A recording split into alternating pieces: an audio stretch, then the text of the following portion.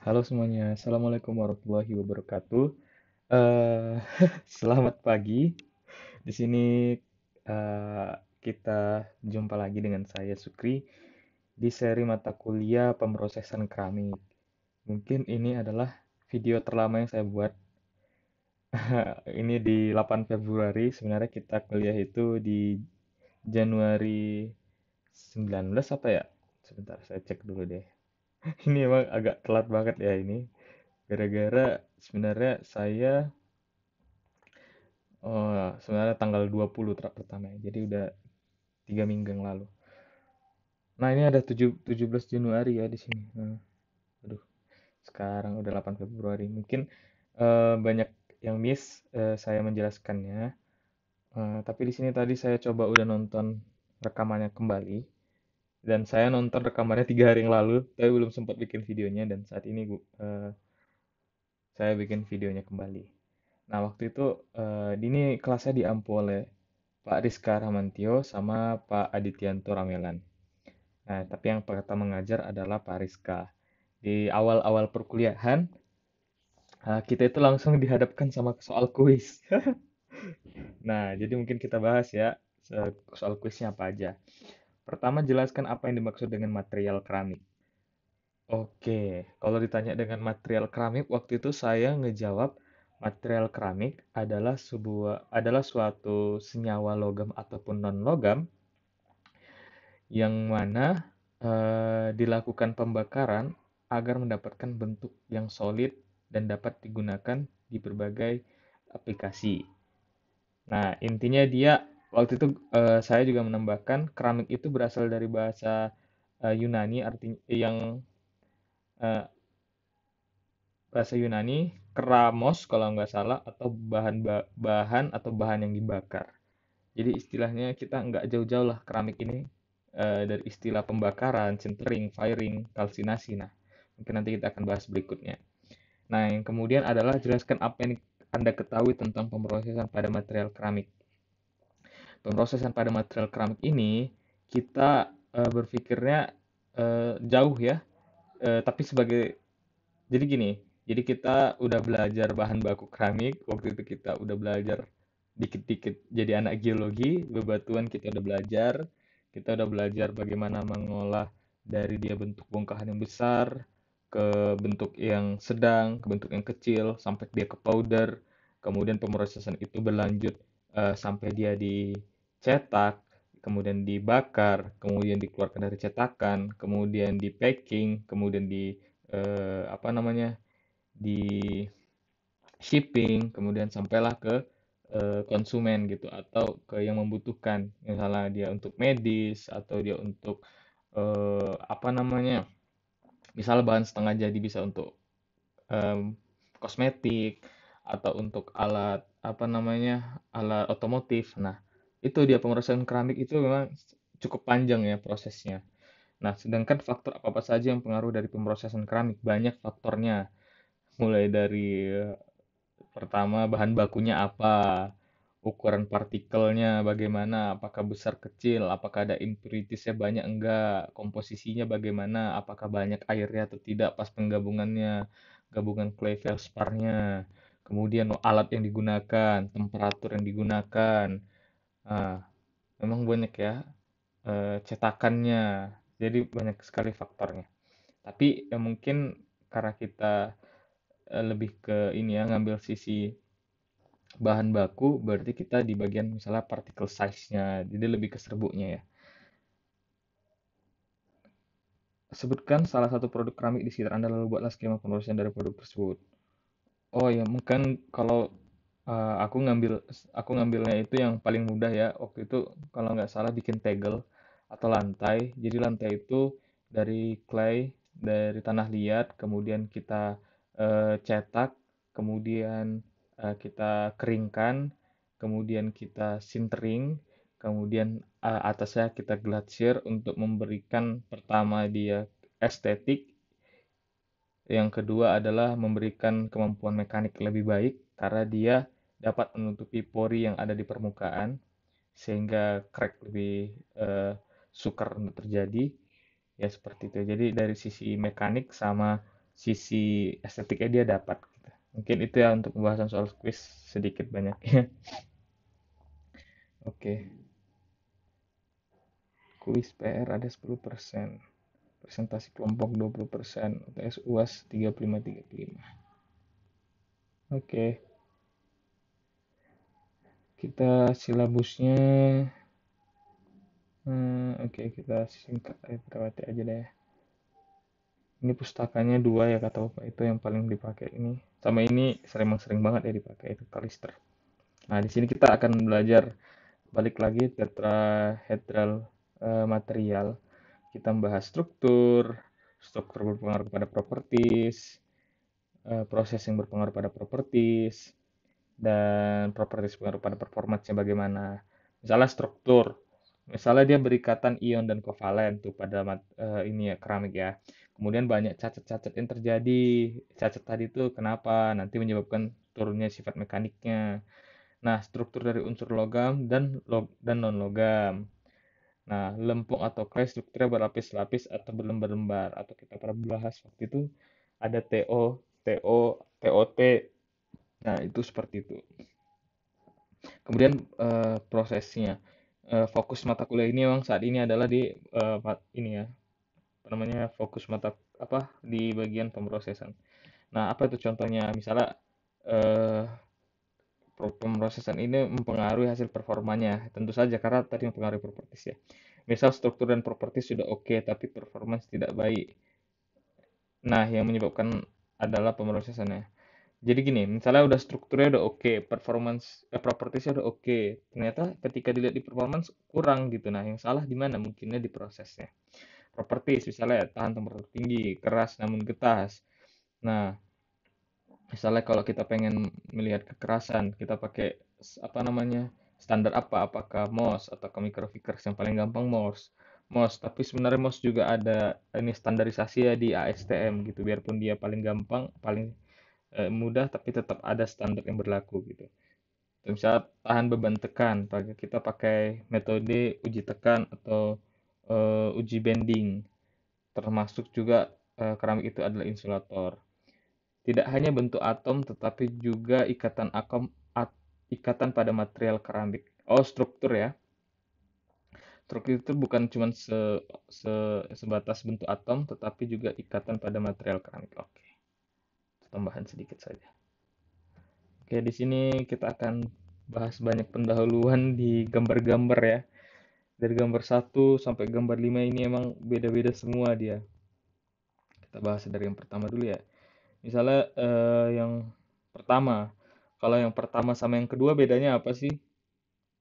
Uh, mungkin pasti ngejawab itu dari bahan baku pemrosesannya. Ini kelihatan dia warnanya putih. Ini warnanya ke coklat coklatan kemudian perbedaannya ada glacier diberikan lapisan sebagai pen, pen, peningkatan performa dan dekorasi lebih baik dan menambah estetika ya Hmm, misalnya ini pakai China clay, dia sedikit oksida besinya, jadi dia warnanya putih bagus. E, kalau misalnya putih apa putih susu, kalau dia ini tanah liat biasa, banyak kandungan oksidanya, biasanya berada di Indo di bukan maksudnya di lingkungan yang banyak gunung berapinya. Nah, termasuk di Indonesia. Nah, makanya nanti kalau tanah liat biasanya berwarna eh, kecoklatan seperti ini. Sedangkan kalau dia yang putih gini ini China clay biasa pun kita temukan di Cina namanya juga China clay gitu. Kemudian yang ketiga, yang ketiga itu kita bahas di sini ya. Lihat di sini dulu. Ini adalah tegel ya dengan bentuk yang beragam apa? corak yang beragam. Bedanya dibanding produk 1 dan 2 adalah bentuknya beda, maka proses pembuatannya berbeda. Nah, misalnya kalau ubin itu eh, dia bisa dapat dengan di press doang gitu. Uh, kemudian yang di glacier hanya bagian atasnya saja. Karena kan kalau ubin dia kayak sat, uh, dua dimensi aja dia kan.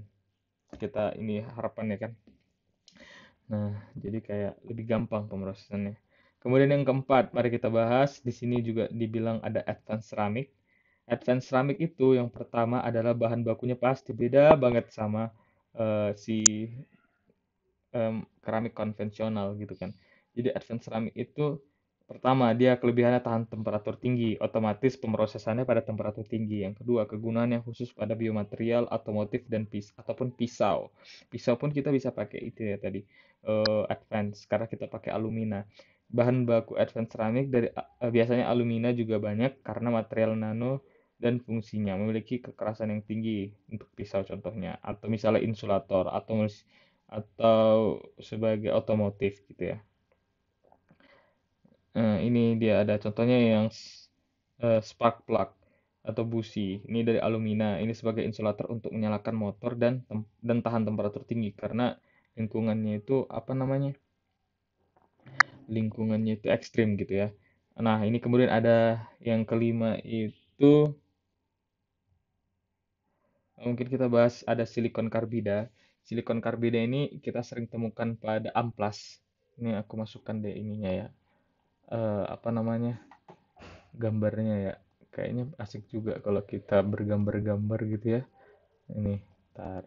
Silikon karbida. Dia kan biasa berwarna hitam gitu cocok banget sama amplas.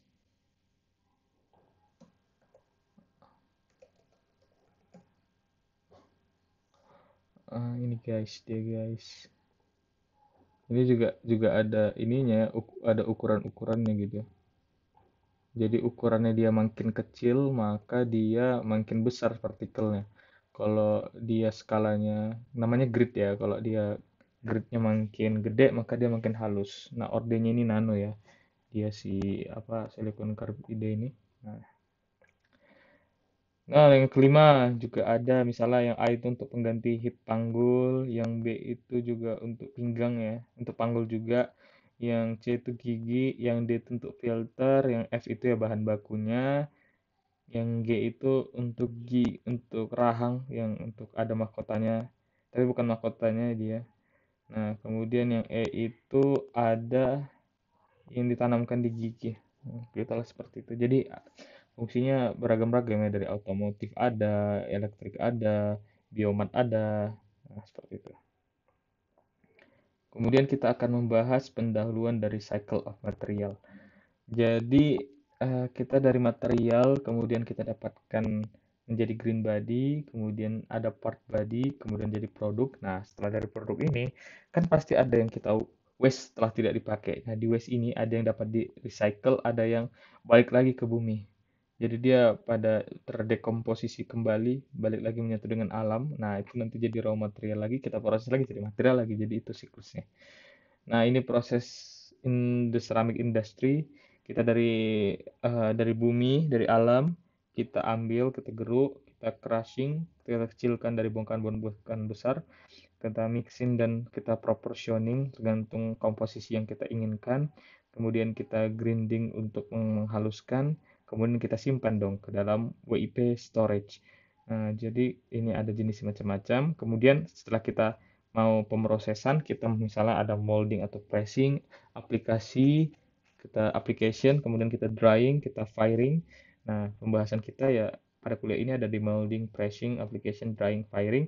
Kemudian pasti ada finish product, kemudian kita dispatch ya, kita apa namanya kita sebarluaskan. Nah, ini mungkin bahasa anak industri manajemen gitu ya tapi kita fokus pada pemrosesan itu di bagian tadi itu setelah crushing adalah ekstrusi bahan baku dari alam sehingga uh, agar terjadi kasih agar lebih halus.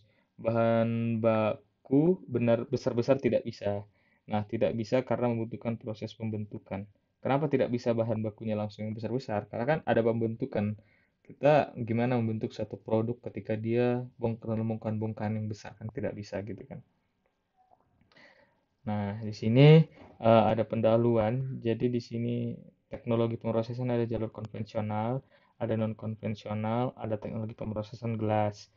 Kalau konvensional dapat dilihat ada plastic forming, slip casting, uh, dry powder pressing, tape casting. Kalau non konvensional ada glass ceramics, gelation, sol gel, powder, teknologi pemrosesan gelas, ada pressing, blow molding, flat glass drawing, fiber forming. Nah, lebih lengkapnya lagi ini ada bagannya di ceramic teknik ada glass for, glass forming proses tadi. Kemudian ada particulate forming process dan cementation. ini di powder pressing juga ada pembagian di hot uniaxial isostatik kalau hot ada panas dia uniaxial ada isostatik dia tekanannya tetap udah ada hydroplastic forming ada slip casting tap casting dan ada juga 3D printing ini atau disebut additive manufacturing tapi masih jarang. Kemudian dari masing-masing ini kita drying kemudian kita fire atau sintering kemudian ada cementation. Nah 3D printing itu masuk jalur plastic forming sebenarnya jadi nozzle keramik lebih besar karena ukurannya uh, makin besar. Jadi kan uh, particle size si keramik ini tidak sekecil misalnya polimer gitu kan nah jadi jadi nozzle-nya lebih besar jadi kayak apa ya kayak suntik gitu dia jadinya uh, seperti itu. Kemudian ini ada pendahuluan. Uh, ini adalah hubungan yang penting pada pembentukan seramik. Itu kita ada bahas chemical composition, berhubungan dengan mikrostruktur, berhubungan juga dengan properties. Kalau chemical composition ke mikrostruktur, namanya ceramic fabrication, fabrication. Nah, kalau mikrostruktur ke properties kita bagaimana merekayasa atau engineeringnya kemudian kompo, kompo, kom, chemical composition atau atomic structure-nya ke properties itu intrinsiknya bagaimana. Nah, proses pembentukan akan berbeda-beda ketika komposisi berbeda-beda. Maka uh, ketika komposisi berbeda-beda, maka propertiesnya berbeda-beda. Pen, penguatan penguatan komposisi yang banyak air. Oh, pembuatan komposisi yang banyak air makin besar, maka cacat akan semakin besar karena letak karena dia terjadi shrinkage kan, penyusutan. Nah, penyusutan itu adalah penginisiasi ada tekanan internal force yang lebih besar, maka dia menginisiasi crack. Struktur mikronya ada porosity, maka propertiesnya jadi turun. Kemudian misalnya ada sol gel, adalah menggunakan proses bottom up. Jadi kita dari nano kan dia, jadi satu material yang kecil kita ubah yang besar, bukan dari yang besar kita kecilin, kemudian kita proses ini yang dari yang kecil kita ubah jadi produk yang besar ya state of starting material ada solid particle, solid polymer, liquid gas, gas liquid, gas solid, liquid solid. Metodenya ada powder pressing, pyrolysis, solution soldier, chemical vapor deposition, directed metal oxide, oxidation, reaction bonding, reaction bonding. Nah ini emang shape of produknya banyak dan uh, sebenarnya gue ini ya uh, agak bingung juga untuk mata kuliah beberapa mata kuliah yang sangat banyak metode-metode yang digunakan, bahan baku yang kita gunakan. Sebenarnya nanti yang paling kita pakai itu apa? Soalnya gue rasa ya nggak mungkin kita itu bisa memahami ini semua gitu kan. Gue tahu gitu kan, gue nggak kan nggak buku gitu kan. Jadi gue rasa yang penting-pentingnya lah yang harus dipelajari gitu kan. Nanti misalnya di industri itu kita butuhnya yang seperti apa gitu kan. Tapi nggak apa-apa kita belajar dulu biar tahu aja dulu ya. Biar istilahnya pernah dengar lah biar nanti belajar lebih mudah. Misalnya ini efek proses es, uh, oh ini efek dari variabel-variabel ketika pemrosesan uh, keramik. Ih banyak banget ya. Nah tadi betul yang kita bahas di awal smaller average particle increase in width of particle distribution agglomerasi impurities homogeneous particle packing in grain article increase in grain density inhomogeneous increase. Intinya ya pasti dia ukuran partikel. Apakah merata apakah dia terjadi aglomerasi atau apa namanya penggumpalan apakah dia homo homogen atau non homogen apakah dia banyak impurities nah, apakah bagus mixingnya gitu-gitu sebenarnya. Nah, ini akan dibahas lagi berikutnya nanti di pertemuan berikutnya di bagian preparasi ya tapi ya seperti ini kira-kira. Mungkin aku tunjukkan slide-nya aja deh. Mungkin yang mau bertanya boleh ya di m at mhd sukritan. Terima kasih teman-teman. Ini yang paling telat sih. Mata kuliah ya gue bahas. Tapi tidak apa-apa. Ini ada tugas guys. Tanggal 9 udah harus dikumpulin tapi gue belum ngerjain samsat tapi gue seharusnya selesai sih. Bismillah. Ya itu aja teman-teman. Sampai jumpa. Assalamualaikum warahmatullahi wabarakatuh